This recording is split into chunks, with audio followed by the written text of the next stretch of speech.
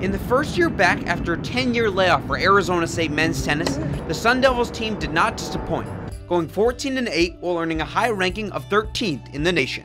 A large reason for the success stemmed from then freshman Tim Ruehl. Ruehl is described by Arizona State coach Matt Hill as a quieter individual who likes to let his play speak louder than his words.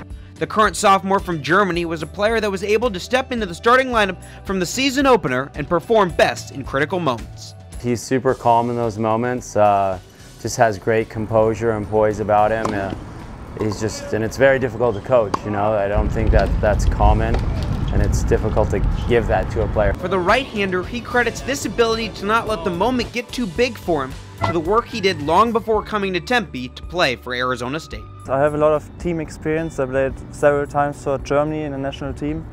So it's normal to, for me to play under pressure in a team and I really enjoy these situations. Playing for the German national team helped Ruehl as he moved up the rankings, getting as high as number 61 in the International Tennis Federation rankings. This opportunity taught him that being on a team meant people rely on you, especially in big moments. It's important to focus only on your tennis in these situations and that's what I learned. So everything what is around the court you have to forget. You just have to focus on the important points on your tennis. Ruehl tied for the team lead in matches clinched last year with four due to big-time shots in the clutch.